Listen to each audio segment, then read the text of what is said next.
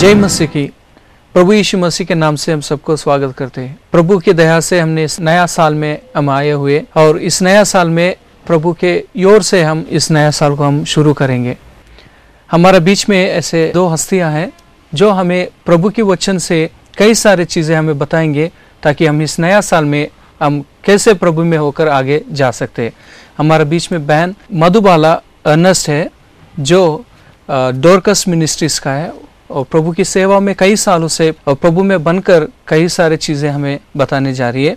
और वैसे ही हमारे बीच में डॉक्टर आशीष चौहान है, जो कंसल्टेंट डायबिटिक्स डॉक्टर है, जो अपोलो हॉस्पिटल में उन लोग काम कर रहे हैं। तो वो उन्होंने भी हमें कई सारे चीज़ें इस नया साल में हम आगे कैसे जाने के लिए हम उनसे जान लेंगे। इस कार्यक्रम में हम कई सारी चीज़ें जैसे हम डिस्कस करने जा रहे जैसे प्रभु ने हमें नया साल दिया हुआ। तो इस नया साल में कई लोग, कई सारे डिसीशंस लेकर उन लोग शुरू किए होंगे। पर कई लोग ऐसे होते, वो डिसीशंस को बीच में भूल जाते या नहीं तो कई दिनों के लिए बाद में या कई हफ़्ते के बाद में या कई महीनों के बाद में उन लोग भूल जाते तो आप उनको कुछ सजेशंस दे सकते ताकि उन लोग ये नया साल में जो जो निर्णय उन लोग लिए हुए, वो सारे इस साल भर उन लोग प्रभु में बना रहकर आगे जा सकते सबसे पहले तो सारे दर्शकों को प्रभु में नया साल मुबारक हो। बहुत खुशी है कि परमेश्वर ने हमें और एक नया साल दिया है। और क्यों डॉक्टर साहब आप क्या कहते हैं? बिल्कुल। हाँ। अगर मैं डॉक्टर की तरफ़ से बात करूँ इतने लोगों की पिछले गए साल में डेथ हुई बट उसके बाद भी उसकी दया से आज हम सब यहाँ पे बैठ करके नए साल में एंट्री ले रहे हैं। उसके लिए ऊपर वाले की फजल हम सब पर है। परमेश्वर के नाम का धन्यवाद हो। और हम जैसे भाई कह रहे थे कि डिसीशंस लेते हैं हम कहते हैं निर्णय लेते हैं कि हम ये करेंगे वो करेंगे और हम उस पर अमल नहीं ला पाते हैं। तो कभी कभी हमको ये सब चीज़ें परमेश्वर पर छोड़ देना चाहिए। क्योंकि जैसे हम पढ़ते हैं एक कुरंथियों और दो और उसका नौवा वचन उसमें लिखा है परंतु जैसा लिखा है जो बातें आँख ने नहीं देखी और कान ने नहीं सुनी और जो बातें मनुष्य के चित्त में नहीं बढ़ चढ़ी, वो ही हैं जो परमेश्वर ने अपने प्रेम रखने वालों के लिए तैयार की हैं। तो परमेश्वर ने हमारे लिए इस नए साल में ऐसी चीज़ें तैयार की हैं कि ना हमने उसे देखा है, ना सुना है और ना ही हम उसे समझ सकते हैं। तो हमको चिंता करने की ज़रूरत नहीं है जब ऊपर वाला हमारी चिंता कर रहा है। बिल्कुल कि अगर मैं इसको मेडिकली तरफ़ से देखूँ तो एक चिंता है एक ऐसी चीज़ है जो कि हमारे मेडिकल लाइन को सबसे ज़्यादा बिज़नेस देता है हाँ और मज़े की बात यह है कि जो हमारे इस बाइबल के और जीसस क्राइस्ट के के राह में चलने वाले लोग हैं उनको चिंता करने की बिल्कुल भी ज़रूरत नहीं होनी चाहिए क्योंकि फिलिपियंस फोर सिक्स में ऐसा कहा गया है हाँ। कि प्रभु में सदैव खुश रहो हाँ सदैव आनंदित रहो। और सदैव के साथ एक ये सबसे बड़ा वर्ड जो लिखा हुआ वो ये नहीं लिखा हुआ है उस समय छोड़ करके जब आपके एग्ज़ाम हो क्योंकि आई बिलीव इस समय हमको हमारे दर्शकों में शायद बहुत बच्चे होंगे और बहुत लोग हैं जो कि कमाई करने वाले लोग हैं। और सबसे बड़ा कारण चिंता का बच्चों के लिए जो होता है वो एग्ज़ाम होते हैं। नहीं तो काम करने वालों के लिए वो परेशानी होती है जो कि पैसे कम है या पैसों की प्रॉब्लम आती है। एंड प्रभु कहता है कि मैं अपनी तरफ़ से तुम्हारी झोली हर समय भर करके रखूँगा। Jehovah Jireh my provider so उस हिसाब से अगर हम जितने भी ईसाई लोग हैं जो कि प्रभु को मानने वाले हैं और बाइबल के हिसाब से चलते हैं चिंता चिता के समान है। हमको सिर्फ़ और सिर्फ़ अपना दिल फिलिपियंस फोर फोर में रखना है जो कि कहता है सिस्टर पढ़ेंगे? हाँ फोर फोर में आनंदित रहो सदा मैं कहता हूँ आनंदित रहो। यस और यहाँ छठवें वचन में भी लिखा है डॉक्टर साहब किसी भी बात की चिंता मत करो परंतु हर एक बात में तुम्हारे निवेदन प्रार्थना और विनती के द्वारा धन्यवाद के साथ परमेश्वर के सन्मुख उपस्थित किए जाए। आने वाले समय में इस ईयर सन 2018 में हमारे दर्शक सिर्फ़ और सिर्फ़ अपने आप को चिंता से दूर रखें और प्रभु में हर समय उसके ध्यान में रहें और उसके साथ प्रेयर प्रार्थना के द्वारा उसके साथ तल्लीन रहें। तो शायद ये आने वाला हमारे पूरे परिवार के लिए हमको एक स्वस्थ पूर्वक रहेगा और मनस से भी हमको चंगा रखेगा। और डॉक्टर साहब जैसे अब हम देखते हैं कई सारे लोग ये डायबिटिक से पीड़ित है। हम्म। क्या आप कह सकते हैं उसके उनसे उन लोग कैसे बाहर आ सकते हैं डायबिटिक्स के प्रॉब्लम से। मतलब स्पिरिचुअल के तौर से, जैसे मेडिसिन तो अवेलेबल है, क्या आप क्या सलाह दे सकते हैं ताकि उन लोग स्पिरिचुअल के ओर से प्रभु के वचन के अनुसार से उन लोग कैसे अपने बॉडी को या अपने बीमारी से उन लोग छुटकारा पा सकते हैं? Brother thanks for asking that question आपने जो बहुत अच्छा क्वेश्चन पूछा है, आज मैं आपको अपना एक्सपीरियंस बताऊँगा कि मैंने देखा है हमारे जितने भी पेशेंट्स को मैं देखता हूँ जो डायबिटीज़ और ब्लड प्रेशर की बीमारी के साथ आते हैं, उसमें काफ़ी अच्छा नंबर हमारे ईसाई भाइयों का है। जब एज ए पेशेंट्स को मैं देखता हूँ तो मुझको बड़ा अजीब लगता है कि हम प्रभु में रहने वाले बच्चे हम में बीमारियाँ क्यों ज़्यादा पड़ रही हैं? जब इस चीज़ को मैंने सोच करके बाइबल उठाई मैंने कहा इसका क्वेश्चन मैं सिर्फ़ और सिर्फ़ प्रभु से सीधे मांगूँगा। और उसका आंसर साफ़ साफ़ बाइबल में दिया गया है। तीन चीज़ें हैं जो कि हमको बीमार कर रही हैं आजकल। एक तो अभी हमने आपके सामने डिस्कस किया कि ज़्यादा चिंता करना स्ट्रेस इज़ नॉट गुड दूसरी चीज़ है कि हम लोग जो खान पीने की जो हमारी आदतें हैं हम लोग अपने शरीर के हिसाब से ज़्यादा खाना पीना कर रहे हैं। नया ज़माना आ गया है फास्ट फ़ूड का ज़माना आ गया है। फास्ट फ़ूड में हम लोग बच्चों को भी आप देखेंगे वो चिप्स और बाकी चीज़ों में लगे रहते हैं। प्रभु ने बाइबल के हिसाब से ज़्यादा से ज़्यादा बात करी है उपवास रखने की और खाली पेट रखने की। एंड एक बार प्रभु ने बोला है कि भोजन या आपको कोई फ़ीस रखने के लिए। तो अगर पूरी बाइबल में जितना मैं समझता हूँ फास्टिंग का डिस्कशन ज़्यादा है। फीस्टिंग का डिस्कशन सिर्फ़ एक बार है। लेकिन जितने भी मैं अपने ईसाई भाइयों के परिवार में जाता हूँ मैंने देखा वहाँ पे जो भी फास्टिंग है वो ख़त्म जो होती है वो बहुत बड़े फ़ीस से ख़त्म होती है। तो ओवर ईटिंग जो है वो बहुत बड़ी बीमारी है। एंड मैं चाहूँगा कि मेरे दर्शक स्पेशली अपने जो बड़े लोग घर के हैं वो नीति वचन तेईस दो को हर समय याद रखें। प्रोवर्ब्स ट्वेंटी थ्री टू उसमें क्लियर कट चीज़ कही गई है कि you know put a knife to the throat if you are man given to appetite तो अगर हम लोग अपने हिसाब से इवन तेलुगु में और इंग्लिश में उस तरीके से put a knife to the throat अपने गले में आप एक वो कत्ती छुरी। रखिए कि over eating is not good for anybody and आजकल की सारी बीमारियों का प्रमुखता कारण जो है वो सिर्फ़ और सिर्फ़ अननेसेसरली अपनी शरीर के हिसाब से ज़्यादा खाना है। तो एक वो दूसरी चीज़ है। तो नंबर वन जो प्रॉब्लम थी वो हमारी चिंता करने की थी एंड सिस्टर ने ऑलरेडी पढ़ लिया कि चिंता करना हमारे लिए नहीं अच्छा है। नंबर दूसरा हमने डिसाइड किया कि ज़्यादा खाना वो भी बाइबल मना करती है। अच्छा एंड मज़े की बात मैं आपसे बताऊँगा। मैंने मेडिकल साइंस के हिसाब से जो डिस्कशन किया था मेडिकल साइंस में हमारी और आपकी बॉडी के लिए थोड़ा सा मांस जो खाना है वो बॉडी के लिए अच्छा नहीं है। अच्छा। हाँ जी। अम, शरीर के लिए मछली काफ़ी अच्छी है, जो कि हार्ट के लिए अच्छी होती है। एंड इसी चीज़ को मैंने खुद एज अ डॉक्टर बाइबल को पढ़ा है। और उस बाइबल में मेरे हिसाब से जो था कि प्रभु ने, प्रभु के क्रूसिफिक्शन से पहले दो बार जो डिनर किया है, खाना खाया, उसमें मछली का ज़िक्र है। और एक बार पुनरुत्थान के बाद उन्होंने एक बार मछली खाई है। तो इवन 2000 साल पहले भी प्रभु ने आपके और मेरे जीवन शैली को चलने के लिए एक उदाहरण दिया हुआ है। तो fish is good for you मछली आपके और मेरे लिए बहुत अच्छी है एंड यही बाइबल भी कहती है। अ, उसका भी अलग अलग उदाहरण है। एक अच्छा सा उदाहरण हमारे Numbers eleven thirty three sister पढ़ेंगे। जी गिनती ग्यारह और तैंतीस में लिखा है मांस उनके मुँह में ही था और वे उसे खाने ना पाए थे कि यहोवा का कोप उन पर भड़क उठा और उसने उनको बहुत बड़ी मार से मारा। अपेरेंटली अलग अलग वर्जन्स में जो दिया हुआ है कि मांस खाने से ऊपर वाले ने 2000 लोगों की उस समय डेथ हो गई थी। तो over eating is definitely not good आपके और मेरे शरीर के लिए नहीं अच्छा है।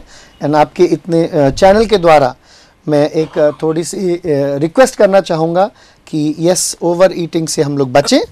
एंड फाइनली लेजीनेस से बचें। आजकल का जो ज़माना है मेरे स्टूडेंट्स और बच्चे और मदर्स आकर के मेरे से बात करते हैं सर कि क्या करें? मेरे बच्चे को मैं क्या बताऊँ? तो मैंने कहा उनको खेलने जर के लिए भेजिए। तो उन्होंने कहा क्या खेलना चाहिए? मैंने कहा क्रिकेट और फुटबॉल खेलिए आप। तो बच्चा मेरे को बोल रहा हाँ साहब मैं बहुत क्रिकेट और फुटबॉल खेलता हूँ। तो मैंने पूछा कितनी देर तक क्रिकेट फुटबॉल खेलते हो? उसने कहा सर जब तक वीडियो गेम की बैटरी चालू रहे तब तक खेलता रहता हूँ। अच्छा।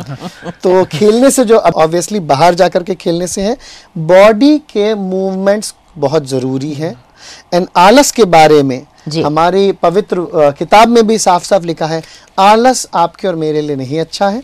नीति वचन पंद्रह उन्नीस और नीति वचन उन्नीस पंद्रह दोनों में उसके बारे में लिखा हुआ है। एंड सिस्टर उसको पढ़ करके हमारे जी नीति वचन पंद्रह और उन्नीस में लिखा है आलसी का मार्ग कांटों से रुंधा हुआ होता है परंतु सीधे लोगों का मार्ग राजमार्ग ठहरता है। उन्नीस पंद्रह में लिखा है आलस से भारी नींद आ जाती है और जो प्राणी ढिलाई से काम करता है वह भूखा ही रहता है। बिल्कुल। जी। एंड इसमें फाइनल चीज़ ब्रदर मैं आपको जो बताना चाहूँगा हमारा प्रभु इस दुनिया को बनाने वाला प्रभु था। उस बनाया है और उसने जब वो इस ज़मीन पे था हमारे साथ 2000 साल पहले उस समय भी आप मुझे ये बताइए उन्होंने एक कमरे में बैठ करके प्रार्थना करी थी कि वो कहीं और जाकर के प्रार्थना करते थे। बाहर जाके बाहर जाकर के। पहाड़ पे प्रभु ईसा मसीह अपने कमरे को छोड़ करके हिल्स तक जाते थे पर्वतों तक जाते थे अकेले जाते थे। अगर आप उनके शारीरिक संरचना को देखें तो हर किसी भी जो मूवी भी हमने देखी है उसमें प्रभु को बहुत दुबला दिखाया गया है। दुबले लोग साइंटिफिकली लंबा जीते हैं। तो मोटापा सारी बीमारियों की जड़ है और ये आ, मैं ज़रूर चाहूँगा कि मेरे ईसाई भाई इसको समझें। और मोटापे से दूर रहें और एक्सरसाइज की तरफ़ लगे रहें। और हर एक चीज़ में आपको मैंने जो ये वर्सेस दिए हैं, उसको फॉलो करें। मैं डॉक्टर आशीष चौहान कह रहा है, उसको ना समझें बट ये बाइबल कह रही है, उसको मान करके चलें। एंड वही अभी हम लोगों ने डिस्कस किया है, नीति वचन तेईस दो में बताया गया है, और बाकी नीति वचन में साफ़ साफ़ शब्दों में हम सबको बताया गया है कि ये जो शरीर है वो खुद एक मंदिर के समान है। उस मंदिर में प्रभु ईसा मसीह रहते हैं। तो इस मंदिर का ख्याल हमको बहुत अच्छे तरीके से करना है और इस चीज़ों को याद करके हमको आने वाले साल को नए स्तर तक लेकर के जाना है। सिस्टर, मैं आपसे पूछना चाहता हूँ। डॉक्टर साहब ने जैसे हमें बताया रोगों के विषय में और हम कैसे स्वास्थ्य रह सकते और सिस्टर, आप बता सकते हैं लोगों को कई सारे परेशानी ऐसे होते हैं। उन लोग, ये नया साल में उनको कैसा सामना कर सकते हैं? हाँ तो कई परेशानियों का सामना हमें ये साल करना पड़ेगा। हम्म। परमेश्वर हमारे साथ हैं लेकिन जैसा हम पढ़ते हैं भजन संहिता 119 और उसके 50वें वचन में मेरे दुख में मुझे शांति उसी से हुई है क्योंकि तेरे वचन के द्वारा मैंने जीवन पाया है। अच्छा। तो हमें वचन पर ध्यान देना है। परमेश्वर ने जो हमसे वायदा किया है हमें उसको प्रार्थना में इस्तेमाल करना है क्योंकि हम फिर से पढ़ते हैं भजन संहिता एक सौ उनतालीस और उसकी सत्रहवें वचन में हम पढ़ते हैं मेरे लिए तो हे परमेश्वर तेरे विचार क्या ही बहुमूल्य हैं उनकी संख्या का जोड़ कैसा बड़ा है? तो परमेश्वर हमारे बारे में सोच रहा है सोच विचार कर रहा है। हमारी परेशानियाँ उसको मालूम है। और यहाँ पर लिखा हुआ है उनकी संख्या का जोड़ कैसा बड़ा है? मतलब अनगिनत विचार उसके हमारे प्रति हैं। क्यों डॉक्टर साहब? बिल्कुल। वो हमारे बारे में सोचता रहता है। हमारी आर्थिक समस्या हमारे रिश्तों में जो दरारें आती हैं बच्चों की परेशानियाँ वैवाहिक जीवन में जो परेशानियाँ आती हैं अलग अलग प्रकार की परेशानियों का हम सामना करते हैं। उन सब के बारे में परमेश्वर जानता है। और इसीलिए परमेश्वर ने हमें भजन संहिता और उसका चौंतीसवां भजन और उन्नीसवीं आयत में हम पढ़ते हैं, धर्मी पर बहुत सी विपत्तियाँ पड़ती तो हैं, परंतु यहोवा उनको उन सबसे मुक्त करता है। तो ये बात नहीं है कि क्योंकि परमेश्वर हमारे बारे में सोच रहा है, हमें कोई तकलीफ़ नहीं आएगी। जैसे डॉक्टर साहब ने कहा, बीमारियाँ भी आएँगी, परेशानियाँ भी आएँगी। लेकिन यदि हम परमेश्वर में लगे रहेंगे तो परमेश्वर हमसे वायदा करता है कि वो हर विपत्ति से हमें मुक्ति दिलाएगा।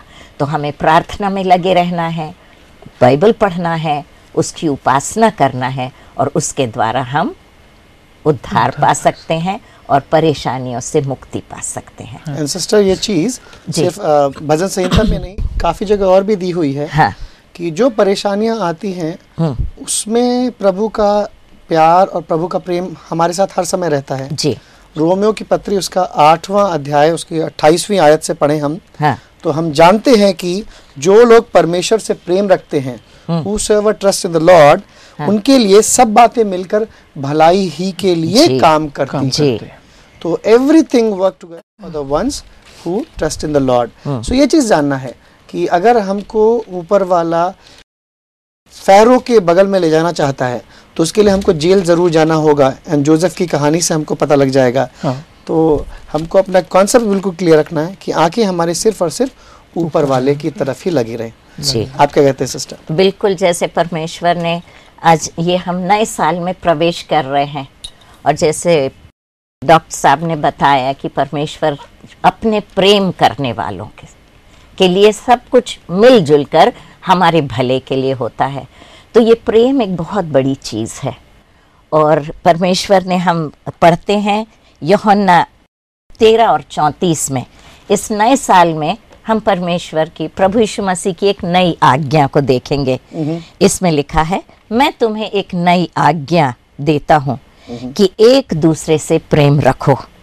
जैसे मैंने तुमसे प्रेम रखा है वैसे ही तुम भी एक दूसरे से प्रेम रखो। ये प्रेम हर मर्ज की दवा है। क्यों डॉक्टर साहब तो जब हमारे दिल में प्रेम होता है तो स्ट्रेस गायब हो जाता है।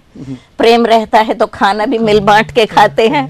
तो उस प्रकार से जब हमारे दिल में प्रेम आ जाएगा और परमेश्वर के वचन में लिखा है परमेश्वर प्रेम है। अच्छा। तो जब परमेश्वर हमारे जीवन में आता है तो एक नई आज्ञा नए साल में हम अपने परमेश्वर की आज्ञा माने कि हम एक दूसरे से प्रेम प्रेम रखें। रखें और डॉक्टर साहब जैसे आप जैसे आप हॉस्पिटल में बैठे रहते तो आप दिन में कई सारे मरीज़ को देखते हैं। हाँ जी। तो आपको कैसा महसूस होता है कि क्यों ये सारे ऐसे और आप उनके लिए क्या करना चाहते हैं? मुझे बहुत खुशी होती है जब मैं मरीजों को देखता हूँ। और ये एक मुझको बहुत अच्छा मौका देता है उनसे प्रभु के बारे में बातचीत करने के लिए।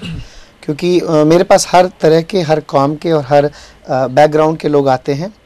और उन सबसे मैं ओपनली बात करता हूँ कि जब कभी भी आपको एंड सारी बीमारियों की जड़ अगर आप ज़्यादातर देखें तो वो एक स्ट्रेस होती है चिंता होती है। तो बहुत से लोगों को मेरे पास वो गिडजन्स की बाइबल अवेलेबल है। एंड मैं बड़े प्यार से उनको देता हूँ। तो अच्छा। भले ही वो किसी भी समुदाय और किसी भी कौम के लोग हों मैं उनसे साफ़ साफ़ कहता हूँ कि आप प्लीज़ इसको अ, कहानी की तरह पढ़िए। आपको कन्वर्ट होने की बिल्कुल ज़रूरत नहीं है, क्योंकि मेरा काम सिर्फ़ और सिर्फ़ उनको प्रभु के बारे में बताना है। और आगे ऊपर वाले की इच्छा उनके लिए क्या है, वो ऊपर वाला अपनी तरफ़ से काम करेगा। तो वो इसीलिए जो सिस्टर ने बात किया है कि प्रेम रखना है। क्योंकि जब वो प्रेम हम अपने काम में दिखाते हैं तो वो फिर वही मरीज़ बार बार आता है। कहते हैं, सारे के सारे डॉक्टर्स दवाई लिखते हैं बट ये जो डॉक्टर है वो दवाओं के साथ साथ दुआओं का भी यूज़ करता है। और इसी समय मैं एग्ज़ाम्पल भी दूँगा। एक बच्ची हमारे अंडर एडमिट हुई अपोलो हॉस्पिटल में।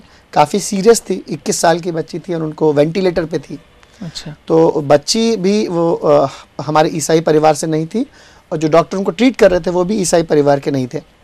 लेकिन वो तीन बार वेंटिलेटर में होकर के बहुत सीरियस हो गई। अच्छा। डॉक्टर ने कह दिया 95 परसेंट ये बच्ची नहीं बचेगी। और ये उसने तीन बार कहा।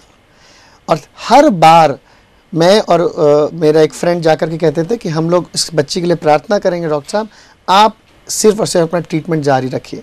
और तीन के तीनों बार वो बच्ची बिल्कुल बाहर आ गई। अच्छा। डॉक्टर ने मेडिकल साइंस ने बोल दिया था कि 95 परसेंट ये बच्ची नहीं बचेगी।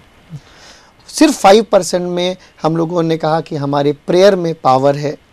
तीसरी बार जब वो बच्ची बाहर आई तो जो डॉक्टर जो कि हमारे ईसाई परिवार से नहीं था उस डॉक्टर ने कहा है यार डॉक्टर आशीष ये आपका ईसा मसीह कुछ ना कुछ तो कर रहा है। अच्छा। क्योंकि मेडिकली ये बच्ची नहीं बच सकती ऐसा चीज़ थी और ये मैं आपको अक्टूबर महीने की बात बता रहा हूँ और आज वो बच्ची चल फिर रही है जो कि मेडिकली पॉसिबल नहीं है। जी। अच्छा तो जो अ, मैं सबसे यही बताना चाहूँगा कि जितनी ताकत हमारी प्रार्थना में है और इसीलिए एक नहीं दो नहीं दस जगह लिखा हुआ है।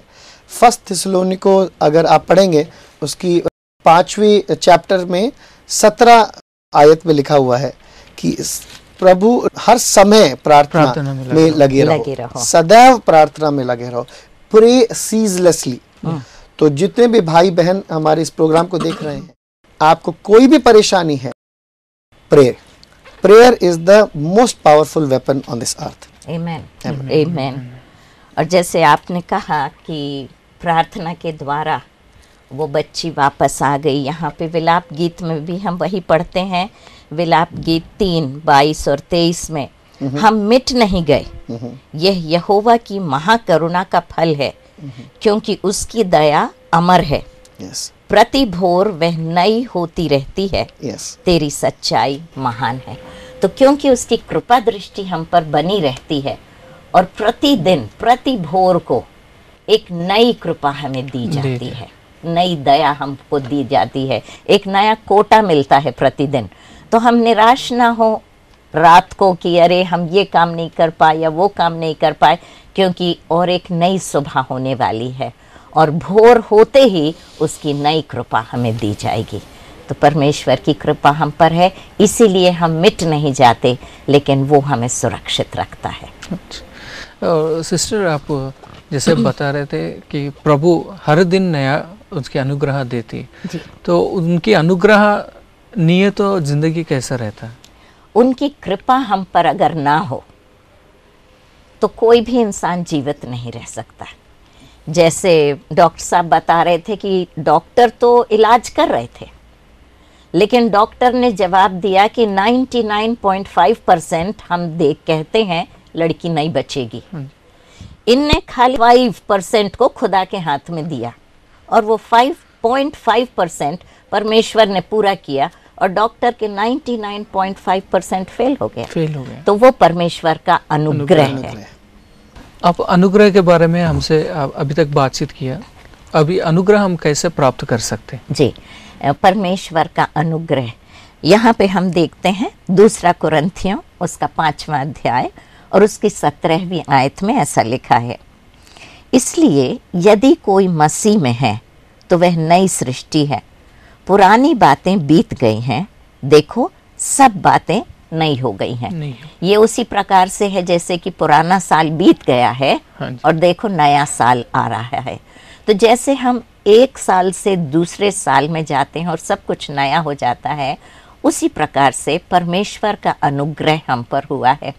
परमेश्वर के वचन में लिखा है, योहन्ना तीन और उसके सोलहवीं आयत में, परमेश्वर ने जगत से ऐसा प्रेम रखा कि उसने अपना इकलौता पुत्र दे दिया, ताकि जो कोई उस पर विश्वास करे, वो नाश ना हो, परंतु अनंत जीवन पाए। तो जब हम प्रभु यीशु मसीह के अनुग्रह को पाने के लिए उसे अपना उद्धारकर्ता ग्रहण करते हैं। तब परमेश्वर का अनुग्रह हम पर होता है। यूहन्ना एक बारह में लिखा है, जितनों ने उसे ग्रहण किया, उन्हें उसने अपने पुत्र और पुत्रियाँ बनने का अधिकार दिया। तो परमेश्वर का अनुग्रह हम पर इस प्रकार होता है कि हम उसके बेटे और बेटियाँ बन जाते हैं। और जब हम उसके बच्चे बन जाते हैं तब लिखा है कि हम मसीह में नई सृष्टि बन जाते हैं। और पुरानी चीज़ें जाती रहती हैं जो हमारी बुरी आदतें थीं जो हम बुरे काम करते थे उस सब में हमें फिर से रुचि नहीं रह जाती क्योंकि हम परमेश्वर से प्रेम करने लगते हैं। प्रभु यीशु मसीह हमारे दिल में आ जाते हैं। उन्होंने क्रूस पर अपनी जान हमारे पापों के लिए दी क्योंकि परमेश्वर के वचन में लिखा है पाप की मजदूरी मृत्यु है। है। और वो मृत्यु प्रभु यीशु मसीह ने मेरे लिए और आपके लिए क्रूस पर उठाया। तो जब हम उन पर विश्वास करते हैं तो हम ये नया जीवन पाते हैं।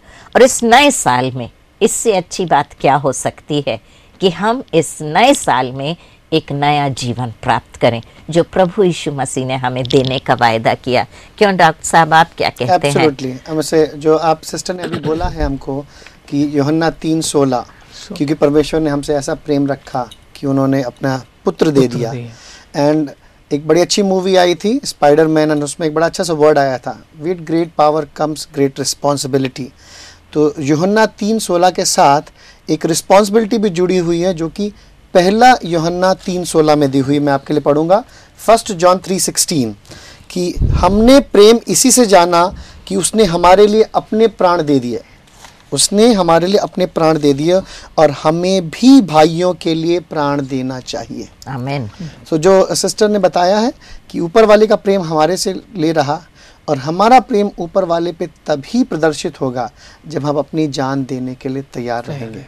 इस समय मैं याद करूँगा हम अपने ग्राहम स्टेन साहब से जिन जिन्होंने अपनी ज़िंदगी की आहुति देकर अपने बच्चों की आहुति देकर के उड़ीसा के हमारे ट्राइबल एरियाज़ के बच्चों को प्रभु के पास में लेकर के आए। So new year is all about new blessings as well as new responsibilities that's what I will conclude और क्योंकि हम लोग बीस अठारह में प्रवेश कर रहे हैं मैं यहोन्ना बीस अठारह पढ़ के बताना चाहती हूँ। इसमें लिखा है मरियम मगदलीने ने जाकर चेलों को बताया मैंने प्रभु को देखा है और उसने मुझसे ये बातें कहीं। तो हम भी ये नए साल में जब हमारी मुलाकात प्रभु से हो जाती है तो हम दूसरों को प्रभु के बारे में बताएँ और हम उसके साक्षी बनकर इस नए साल में प्रवेश करें और ये साल भर उसके हाथ में दे दें। और जब वो हमारी रखवाली करेगा तो कौन हमारा बाल बांका कर सकता है?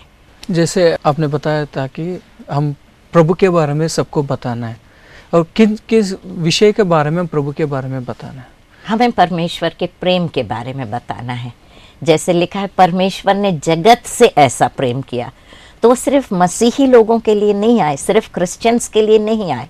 अच्छा। प्रभु ने परमेश्वर ने क्योंकि वो हमारा सृष्टि करता है उसने हमें बनाया है वो हमसे प्रेम करता है और उसने जगत से ऐसा जगत प्रेम से। किया। उसके लिए जाति, पाति का कोई भेदभाव नहीं है। वो हमारा उद्धार करता है, वो हमारा सृष्टि करता है, वो हमसे प्रेम करता है। उसकी इच्छा नहीं कि हम नाश हों, परंतु हम अनंत जीवन पाएँ। इसलिए हम जब उस पर विश्वास करते हैं, हम चाहे कोई भी जाति या पंथ के हों, हमें अपनी जाति बदलने की ज़रूरत नहीं है।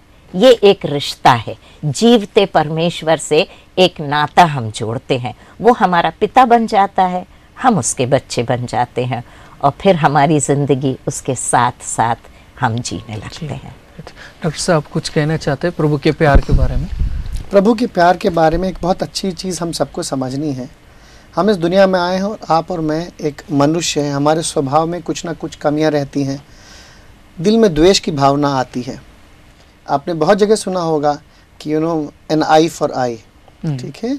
किसी ने भी आपकी एक आँख ले ली आप दूसरी आँख ले लो ये काफ़ी जगह लोग अपने सिद्धांत बताते हैं। बदला बट लेना। हमारा प्रभु उस बदले को बिल्कुल नकारता है। मैंने इससे पहले भी काफ़ी दूसरे ग्रंथ भी पढ़े हुए हैं लेकिन जो हमारे ग्रंथ में और हमारे मत्ती पाँच चौवालीस में लिखा हुआ मैं आपके सामने पढ़ के बताना चाहूँगा और अपने दर्शकों से बताना चाहूँगा किसी भी तरह की द्वेष भावना अगर आपके दिल में अपने पड़ोसियों को लेकर के है अपने बॉस को लेकर के है। हम लोग कहीं ना कहीं काम करते हैं, हमारे दिल में कुछ ना कुछ उसके लिए अगेंस्ट रहता है। तो इसमें मत्ती पाँच चौवालीस में जो दिया हुआ है, परंतु मैं तुमसे कहता हूँ कि अपने बैरियों से प्रेम रखो। अपने बैरियों से प्रेम रखो और अपने सताने वालों के लिए प्रार्थना करो। अपने शत्रुओं से प्रेम रखो। सो आने वाले साल में अगर हम सिर्फ़ और सिर्फ़ प्रेम को आगे बढ़ाएँगे, प्रभु अपने आप को हमारे प्रेम में दर्शाएगा पूरी दुनिया को। So let the whole new year be dedicated to love and relationships thank you सब अपने कई सारे विषय हमसे आपने बांटा ताकि हमारा दर्शक केवल दर्शक ही नहीं पूरा देशवासी एक अच्छी स्वास्थ्य ज़िंदगी जीने के लिए क्योंकि बाइबल खुद कहती है तीसरा योहान उसमें दूसरा वचन में जैसे योहान ने अपने शिष्य के लिए प्रार्थना करते है। जैसे तुम हर विषय में आत्मिक में भी तुम बढ़ते रह रहे हो उसी तरह आपकी शारीरिक में भी आप उन्नति रहने के लिए। तो आपने ये सभी दर्शकों के लिए अच्छी बातें आपने बताया ताकि उन लोग स्वस्थ रहना तो आप कई सारी चीज़ें हमारा इस नया साल में कैसे प्रभु में आगे जाने के लिए आप कई सारे विषय बताए उसके लिए हम आपको धन्यवाद करते हैं। प्रिय दर्शकों अभी तक हमने और सिस्टर मधुबाला से हमने सीखा है और डॉक्टर आशीष चौहान से भी कई सारे विषय हमने सीख चुके हैं। इस साल में हम प्रभु में आगे कैसे रहने कई सारे मुश्किल और कई सारे परेशानियाँ, कई सारे शारीरिक विपत्ति भी हमारे जीवन में आएँगे पर उस सभी से हम कैसे और विजय प्राप्त कर सकते हैं, वो सारी चीज़ें हमने सीखा है। हम मानते हैं, प्रभु इस नया साल में आपको बहुत एक आशीष और आपके साथ होके आप सबको अगुवाई करें।